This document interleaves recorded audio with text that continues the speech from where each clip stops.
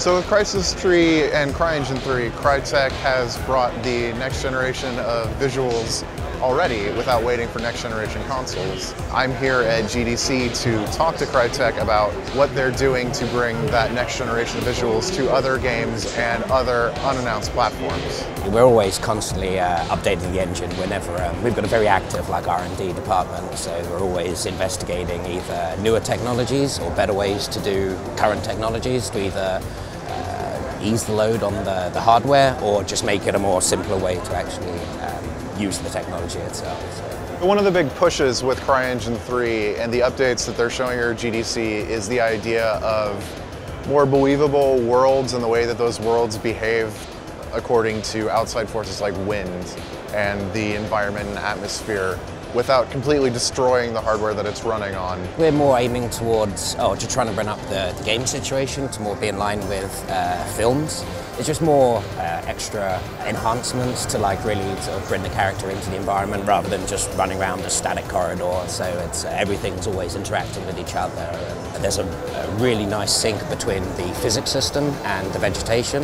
And we've got like a breeze generation and uh, everything reacts. If you have a helicopter flying over everything, we can affect all the vegetation now and we can have um, up to about 2 million vegetation um, objects on at once and they're all simulating depending on the wind and stuff. It's, uh, it's a very clever little system we're using. The funniest thing to me about talking with Crytek and some other developers here at the show is how unwilling they still are to talk about next-gen consoles uh, to the point where they won't even talk about what they're doing with PlayStation 4.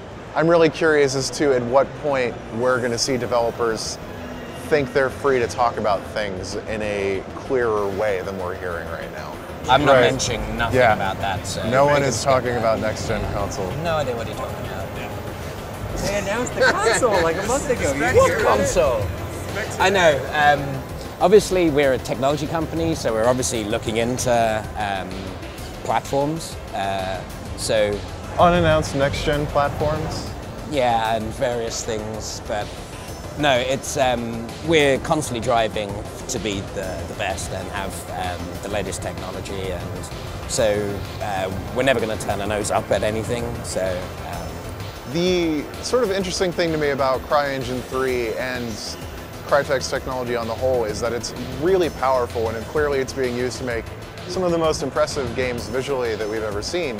But adoption from other parties that aren't in Germany uh, has been really limited. Mainly, uh, as well as just trying with the free SDK is to push that out to obviously end users at home so they get more in involved in how the actual system works and thing. And then um, we run like the odd little competition here and there as well. Like I think one we're doing with the universities in the UK is uh, off the maps. It's uh, uh, a joining between um, British Library and of Crytek and someone else. Uh, unannounced third party. Uh, an unannounced next gen person, no. They're reaching people that maybe thought game development's too hard, or I'm not a designer, or this is all far too complicated for a normal person to do. And if they're going into schools and trying to reach students, then that's such a broader audience than people that might play Crysis 3 or want to do something like that and read about it on the internet. So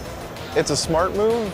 I'm not sure if it's as effective as what companies like Unity and Unreal are doing to get wider adoption of their engines, but it should be interesting to see how that plays out over the next few years.